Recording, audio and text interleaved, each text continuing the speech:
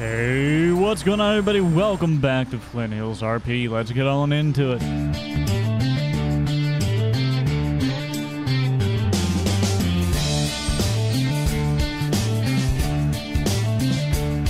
As always, guys, over 67% of you are not subscribed, so if you want to help a pickle out, then click that subscribe button to join the Pickle Jar community.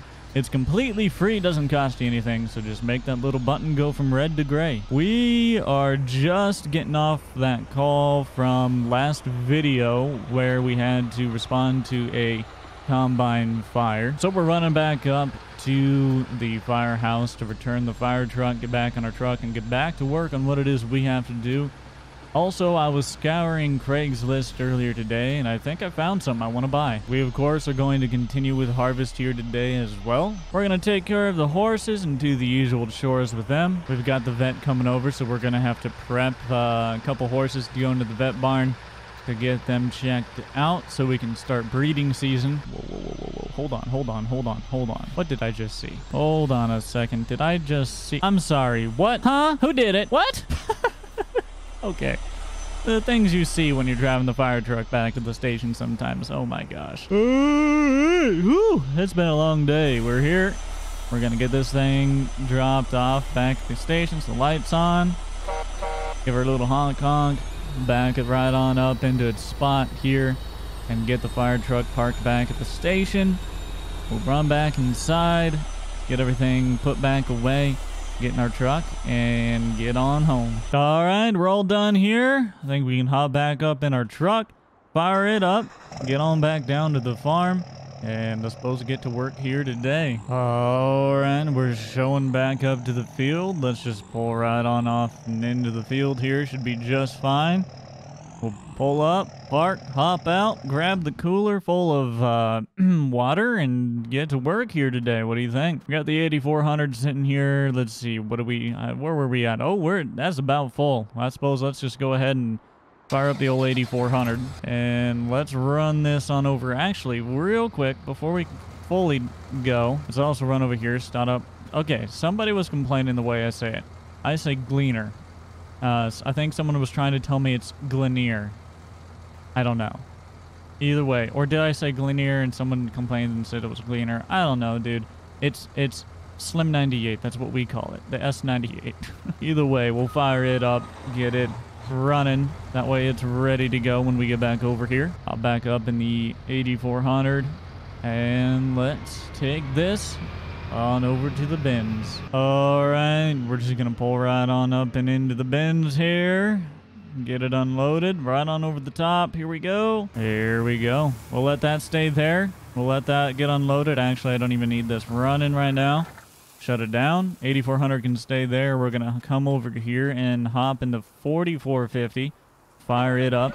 We'll take it on over to the the uh, combine, get back in the combine, and get back to work. Boy, this sure would be a lot easier if I had King here right now, wouldn't it? That's all right. We're making progress where progress can be made, I guess. Can't waste a single day. We're about into winter here, and actually did snow just the other day, so we've got a lot of crop yet to take out. So we got to get rolling. And that'll do. Let's just go ahead and shut this back down. Hop up in the combine, uh, and uh, let's get to rolling.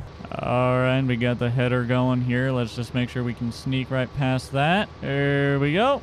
Perfect. And put her down. And we're back to harvesting. We will be uh, running on in to take a look at something that I want to buy here in town a little later today. But I'm waiting on the guy to give me a call back to see if it's even still available. I found it on Craigslist and I thought, oh, that could be kind of fun. So we're going to go and possibly buy uh, a fun little toy today, but we'll see what happens. But for now, we'll just keep doing what we do best. Well, doing what we do mediocrity. Mediocrity? Mediocrity? Is that a word? You get the idea. We're going to keep harvesting, and uh, we'll catch in with you guys here in just a little bit. All right. Get her turned back around. Line up the other direction here. There we go. And back the other way. This way is a little easier to do because we can actually see the edge of that that uh, header there. When we go the opposite direction, our console kind of blocks off our view a little bit. That makes it a little bit more difficult. Well, we're just about full here, and I'm noticing we got a lot, a lot of weeds in this field. This portion of this field must not have got sprayed too well. Um, or these weeds must have just been a little bit hardier than some of the other patches and fields because there's been quite a bit out here. A lot of weeds in this portion, but I think we'll be all right. Um, it shouldn't really be all that much foreign material. We shouldn't get docked too much. If we do try to sell Besides, uh, I don't think we're really trying to sell much of this, if any. Uh, it's it's primarily here for our horses so we can feed them and not have to buy out horse feed all the time. It actually saves us quite a bit of money because horse feed is marked up significantly compared to if we just produce the oats ourselves. I'm hoping I can get all the way back up here, but I just don't think that's going to quite happen. I think we're going to be just about full here, just a little bit. Yep, there it is. Yep, there it is. Let's back up real quick so we're not knocking those with the uh, the header. We'll leave the header running. I'm gonna stick this arm out, and we're gonna run on over here, grab the grain, the gravity wagon, and get that thing unloaded. It's a big, beautiful day out though. Look at the big, beautiful, beautiful blue sky.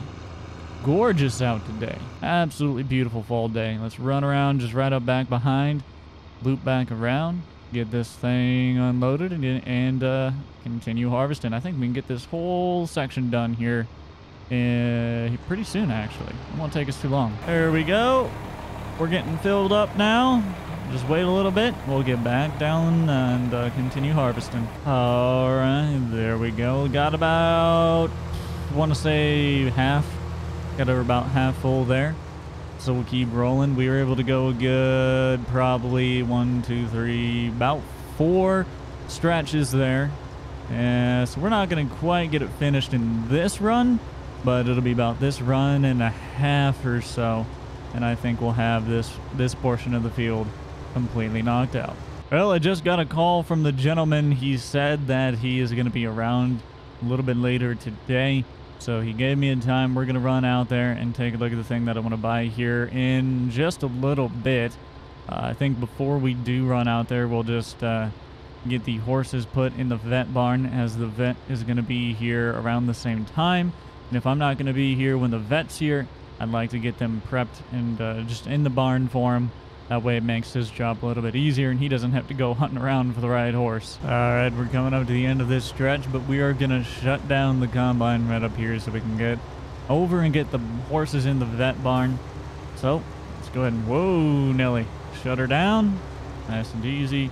Got the header shut down. Now we got to shut down the combine here. So let's disable all of that. Where we go. And turn off the engine. Perfect. That can sit right there. We're going to run back over here into the truck, head back to the farm, and get to work on some other things. All right, all the horses are here in the barn. What I'm going to do is, uh, yeah, we'll leave that side door, door open there. But I'm going to just run over here real quick. And I'm going to open up... Mm, yeah, we'll open up this side. It'll be fine. There we go. That way they can get a breeze in here and they don't get too hot. They're good to go for the vet. We'll close up this gate now. Perfect. All right. We got them put out for the vet. And I think we can move on to the next task today. So let's hop back up in the truck, head on into town, and we're going to go meet this guy to see if I might buy something from off of Craigslist. All right, we're here at the guy's house, and we are going to take a look at this thing right over here. Look at this. So I saw this come up for sale on Craigslist. It is a used cop car.